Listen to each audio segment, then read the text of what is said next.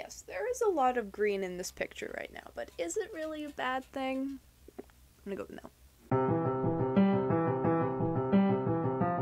I know it's getting to the point where like I really should take this tree down, but like it's really good for helping me focus the camera. I'm filming this on January 6th, meaning that most regular decision deadlines have gone and passed, although I know there's still a couple on January 15th, but a lot of people are going to have interviews coming up, so that's what I'm going to talk about. So my interview went wonderfully. My alum was awesome. She was super chill during the interview, and she actually sent me a nice little congratulatory email after. So yeah, my interview did go really well, but it also kinda had a super bumpy start. Here's what happened. So, I was gonna bring a copy of my activity section just to make the discussion easier during the interview, but I left it by my front door. Why? Because I'm me. After getting to the cafe and realizing this, some panic set in, but honestly, like, not too much. Um, so I just I went in and I got a latte and I sat down towards the back of the cafe about 15 minutes before the interview uh, was supposed to start. Then a half hour passed, and I started to really panic because I hadn't seen my interviewer. It was 3:45, and I was like, oh my god. I was low key freaking out on the inside, um, so I called her and asked if everything was okay and told her that I'd been in the cafe for a while. She was really chill and she said that she went in too, but she didn't see me. She was just a few blocks over, so she came right back and we got right into the interview. Oh my god, I was so anxious after that. But like, I'm also not surprised that it happened because like, you're meeting in a public place, but you don't know what the other person looks like. You know? Alright, now that I've told that story, let's get right into tips. Dress nice. Not like fancy fancy, but nice. Uh, to give you an idea of what I wore, I wore nice white jeans with heeled black boots, uh, teal turtleneck with some earrings, and a leather jacket. Get there early, bring a copy of your resume or accomplishments if you would like. Uh, it can be helpful to your interviewer sometimes. Have good posture when you're speaking and open body language.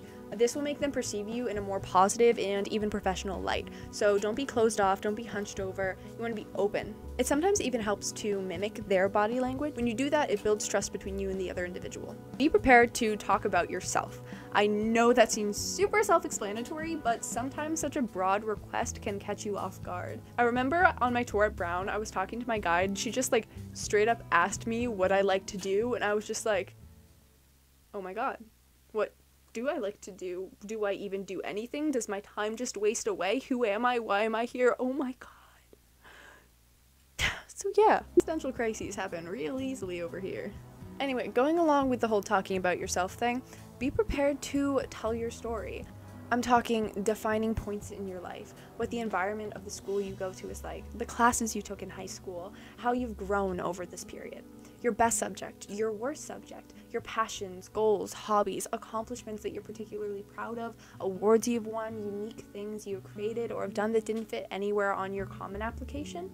Uh, I wrote a cool, really thick research paper for my AP Comp final on the science, ethics, and realities of immortality slash aging slash senescence, that whole thing.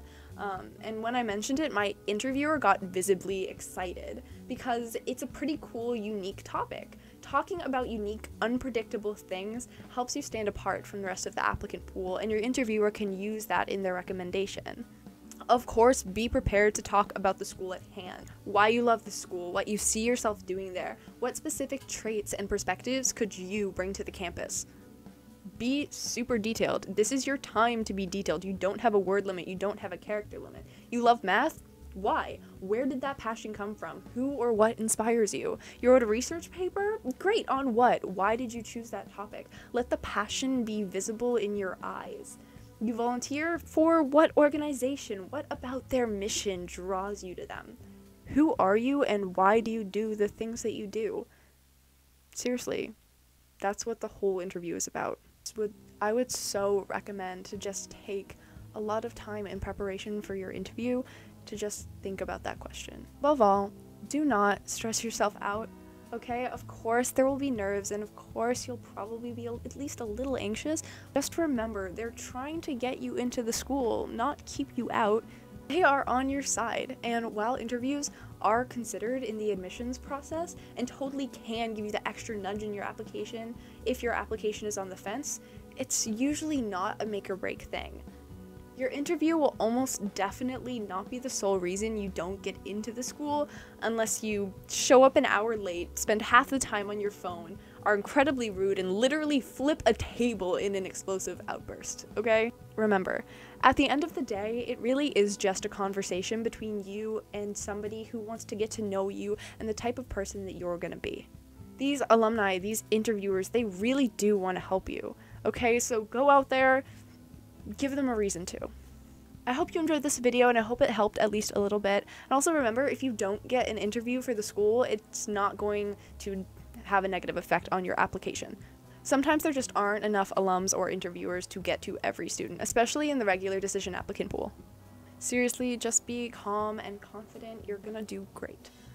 Leave a comment if you have any other interview based questions or anything you'd just like to say or ask. Um, okay, bye.